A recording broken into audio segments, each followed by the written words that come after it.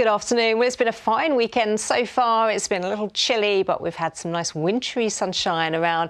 There's been one or two showers about this afternoon as well, and one or two of these will continue as we go through tonight, turning a little wintry across the higher ground as well. But for most of us, it's a dry night with some clear spells that will allow the temperatures to fall, so close to freezing once again, and some mist and fog forming as well. Tomorrow morning, it's chilly, it's murky once again, but we'll see the mist and the fog that will lift and clear. The cloud will break up a bit as well. Again, the chance of a shower, but for most of us, it's a dry, it's a bright, it's a breezy day and temperatures at around 7 to 9 Celsius.